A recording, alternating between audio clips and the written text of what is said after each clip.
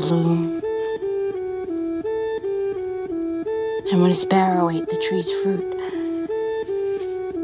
his father flew with the birds.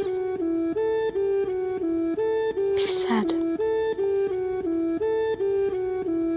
Death was his father's road to awe.